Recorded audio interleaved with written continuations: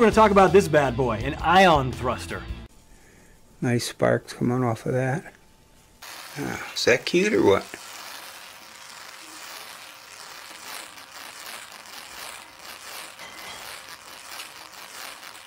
Alright, so what I'm going to do is I'm going to stop it from turning and we'll take a look at the uh, uh, ions coming off of the uh, end of those wires or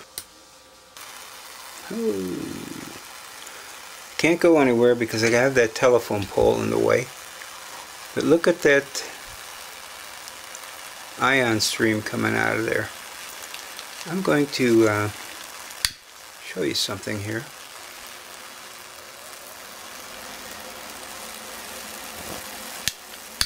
It'll actually blow this it'll actually blow this torch out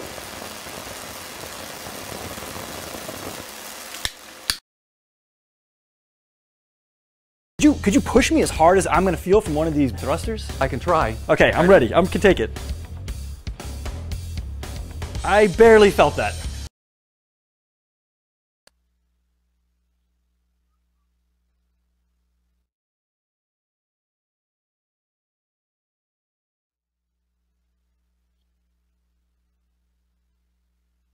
So he's cranking down the volume, uh, vacuum, slowly pulling the vacuum down, still spinning, still has the ion, the ability to create the back, uh, the back pressure. Yeah, slowing down, isn't it?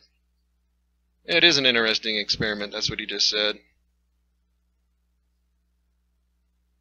Still got a little bit of movement, but not quite vacuum yet. There you go. Gee. See, I guess NASA can get a rocket and a spacecraft to move around out in space, but you can't even get a fucking paperclip to spin in a vacuum chamber? What's so special about an ion thruster? What makes it different and how does it help us get through the solar system? Let's go talk to an expert. All right, guys, we found our expert. This is Marc Rayman. Hi, Mike. Marc, where are we? We're at a vacuum chamber here at JPL where we test ion engines like this one. Can you explain what makes an ion thruster different than other types of thrusters?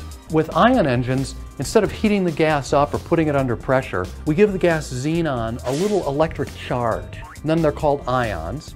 And we use a big voltage to accelerate the xenon ions through this metal grid and we shoot them out of the engine at up to 90,000 miles per hour. And they're going out so fast that each individual ion gives a relatively large push back on the spacecraft. So if I'm the spacecraft, could you could you push me as hard as I'm going to feel from one of these thrusters? I can try. Okay, I'm ready. I can take it.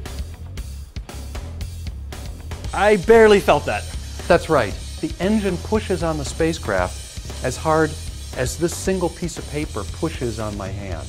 In the zero gravity, frictionless environment of space, though, gradually the effect of this thrust builds up. At full throttle, it would take Dawn four days to accelerate from zero to 60 miles per hour.